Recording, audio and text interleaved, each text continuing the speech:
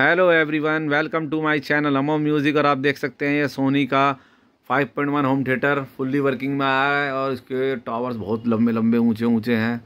देख सकते हैं आप। ये इसका बूफर है। ये इसके टावर स्पीकर से आप देख कितनी हाइट है इनकी। बहुत ऊँची हाइट है ये। बहुत और बहुत प्रीमियम साउंड है इसका। और ये सोनी का देख सकते हैं आप। डी जेड छः सौ दस है। फुल्ली वर्किंग सेट है ये। जो ये स्पीकर्स का सेट है फुल स्पीकर पाँच सारे। ठीक है, आप देख सकते हैं। और मैं आपको प्ले करके दिखाता हूँ सॉन्ग इसमें। लो जी सी चल रही है। ये वॉल्यूम रिमोट है विद रिमोट है ये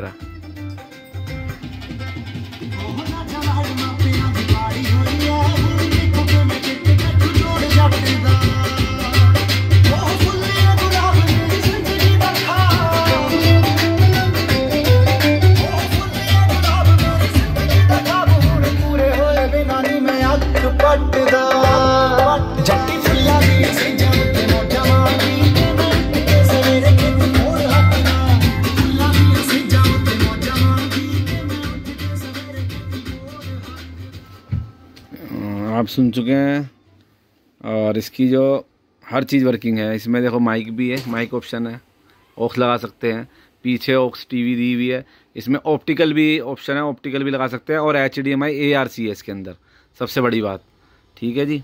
पेन ड्राइव सी डी से आप पेन ड्राइव में कोई भी सॉन्ग्स रिकॉर्ड कर सकते हैं, ठीक है जी? और ये इसका, ये दिखा देता हूँ आपको। ये इसका सेंटर स्पीकर वो सराउंड है दोनों, और ये फ्रंट स्पीकर है इसके, और विद ओरिजिनल वायर पूरी पूरी वायर ओरिजिनल है बिल्कुल। आप देख सकते हैं। पूरे पूरे बंडल है। बहुत दूर तक आप स्पीकर रख सकते हैं इसके। ठीक है जी?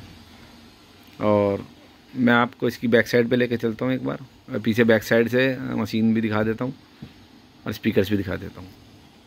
जी, हम इसकी बैक साइड पर आ गए हैं अब। आप देख सकते हैं इसके पॉइंट्स स्पीकर यहाँ लगेंगे सारे। ये मशीन की मेन यूनिट बिल्कुल ब्रांड न्यू शॉप देख सकते हैं। साइन मार रहे हैं इसके शॉकेट ये एफ़ एम एंटीना ठीक है, ये मॉडल नंबर है इसका। और ये स्पीकर्स की बैक साइड देख लीजिए आप। आप चाहें तो इनको अलग करके यहाँ से, और इनको टांग भी सकते हैं। ठीक है जी। ये राइट ये लेफ़्ट ठीक है जी दोनों इनको आप हैंगिंग भी दीवार पे कर सकते हैं और आप नीचे भी रख सकते हैं, इसके नीचे स्टैंड वगैरह ये सराउंड स्पीकर इसके। ये सराउंड स्पीकर लेफ़्ट राइट दोनों हैं। ये सेंटर है इसका। और ये इसका बूफर है। इसका बूफर चारों तरफ़ से बंद है। इसका जो डाउन डाउन फायर है ये। ठीक है जी बूफर बहुत ही अच्छी बेस है इसकी। लाइक शेयर और सब्सक्राइब ज़रूर कर लें मेरे चैनल को। और मेरी यूट्यूब फैमिली को नमस्कार।